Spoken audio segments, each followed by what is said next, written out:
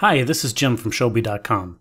Today, I'd like to show you how to change the keyboard layout on your Chromebook. The Chromebook's operating system, Chrome OS, is a fully multi-language operating system, so changing the system language or adding keyboard layouts for other languages is really simple.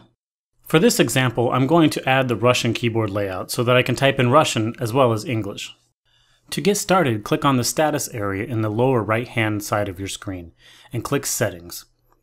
Then you want to search for the button called Keyboard Settings and click on that.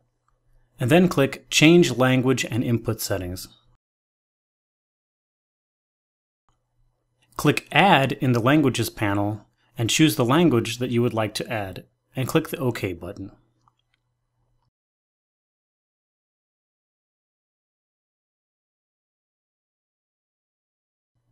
Check the checkbox next to the input method that you would like to activate for this language.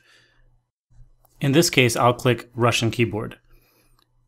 You could also choose to show the whole operating system in this language if you wanted to, but we're not going to do that right now. So let's click Done. Once you've added your new keyboard layout, you'll see a new keyboard indicator in the settings area.